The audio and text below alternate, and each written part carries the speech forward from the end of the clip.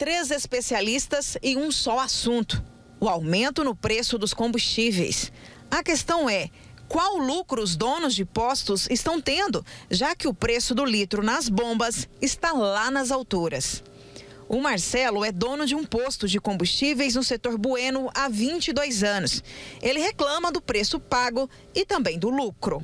O barril de petróleo nunca teve tão alto e com isso está tá vindo os aumentos, né? E, e isso repercute, né, para nós, né?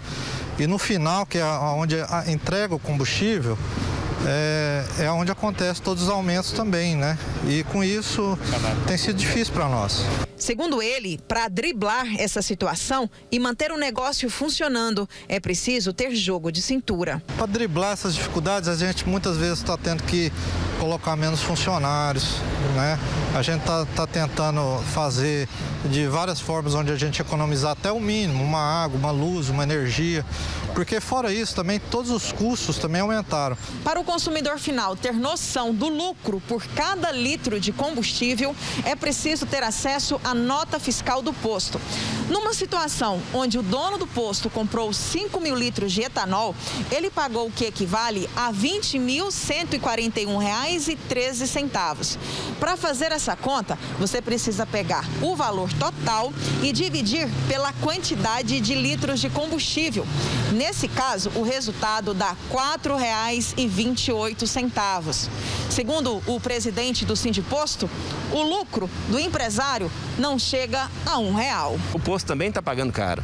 Então a gente vê, da mesma forma, a gente tem o mesmo sentimento do consumidor no momento que a gente vai comprar da distribuidora, né, de indignação pelo alto custo que a gente está pagando hoje para ter o combustível para oferecer ao nosso cliente.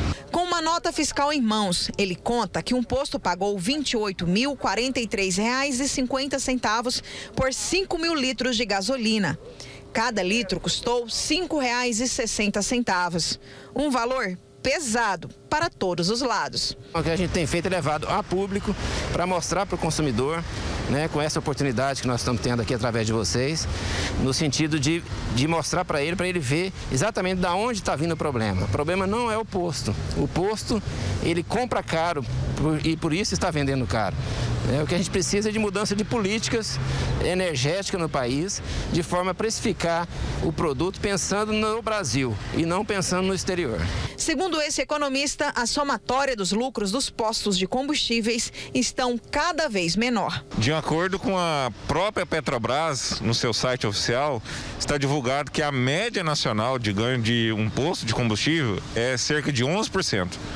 Então, assim, não é uma lucratividade tão alta. Do outro lado está o motorista, que precisa usar o carro diariamente. A gasolina e o diesel sofreram seis reajustes apenas em 2021. O etanol varia de preço sempre, já que as usinas vendem o combustível para as distribuidoras, que vendem para os postos, e os preços são livres. O economista dá dicas para quem precisa economizar. A melhor forma de, de ele ver é assim, além do consumo do próprio carro, é ele fazer uma pesquisa de mercado e saber assim, se dentro da rota que ele vai passar existe um combustível de, de menor preço.